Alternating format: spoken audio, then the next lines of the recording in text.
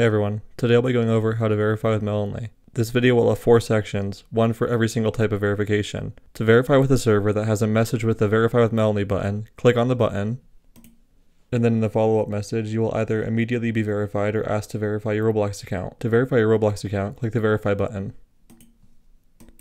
The Melonly page will ask you to link your account. To do so, click the link account button.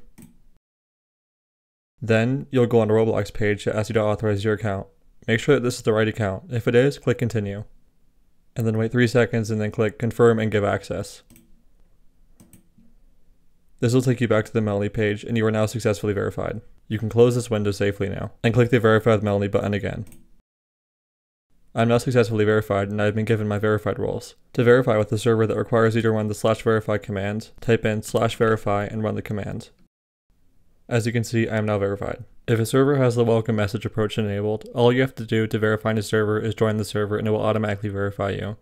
However, if you're not verified and your account isn't linked, it will DM you asking you to link your account, the same way that it did with the static button approach.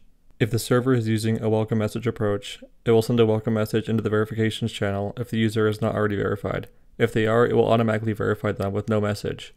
If they're not already verified with only, it will add a button to the message in the verifications channel asking them to link their account. If a server is using the direct message approach, once you join a server, if you're not already verified with only, it will send you a DM asking you to link your account. If your account is already linked with mail you'll immediately be verified with no other action need to be taken on your side. It's possible that servers will require members to be in a group or for their Roblox account age to be over a certain amount of days old. If this is true, then the bot will inform you of the failed requirement and you'll have to meet the requirement to verify on the server. If you have any questions, please reach out to our support team. Thanks.